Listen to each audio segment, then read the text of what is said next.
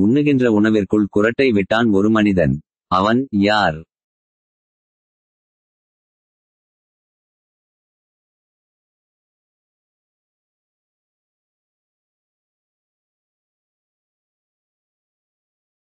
தங்கள் விடையை வசன ஆதாரத்துடன் ஏழு நான்கு ஒன்று ஏழு நான்கு ஒன்று நான்கு மூன்று நான்கு மூன்று என்ற வாட்ஸ்அப் எண்ணிற்கு அனுப்பி வையுங்கள்.